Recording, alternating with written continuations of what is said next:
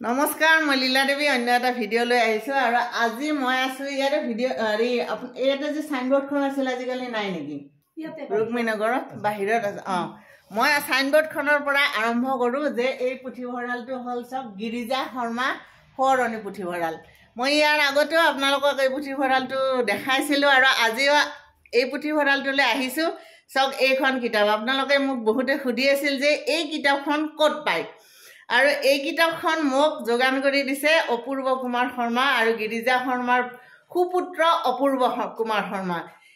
এখেত কিতাপ প্ৰিয় আৰু এটা কথা মই কৈ থওঁ যে এখেতে নিজতকৈ আনৰ কথা বেছি ভাবে। আৰু সেইকাৰণে তেখেতে এই চব কিতাপেৰে পৰিপূৰ্ণ এইটো পুথিভঁৰাল স্বনামধন্য লেখকসকলৰ বহুমূলীয়া লেখাৰে সমৃদ্ধ হৈ আছে এই পুথিভঁৰাল। আপোনাৰ প্ৰয়োজনীয় সকলো কিতাপ ইয়াতে পাব। ৰুক্মিণী গাঁৱত অৱস্থিত। এই পুথিভঁৰালটোলৈ আপোনালোকে নিশ্চয় আহিব। কাৰণ জ্ঞান অন্বেষণৰ বা জ্ঞান যদি যিয়ে লাভ কৰিব বিচাৰে তেওঁৰ কাৰণে সুবিধাৰ অভাৱ কেতিয়াও নহয়। আপুনি যদি বিচাৰে জ্ঞান সমৃদ্ধ এখন জগত তেতিয়াহ'লে এই পুথিভঁৰালটোলৈ আপুনি আহিব পাৰে। চাওক কিমান কিতাপ কিমান ধুনীয়াকৈ ৰাখিছে। মোকো এই কিতাপখন অপূৰ্ব দাদাই আনি দিছে খুব ভাল লাগিছে। গুৱাহাটীৰ যিমানখিনি পুৰণা ইতিহাস পাৰোঁ মই আপোনালোকক জনাবলৈ নিশ্চয় চেষ্টা কৰিম।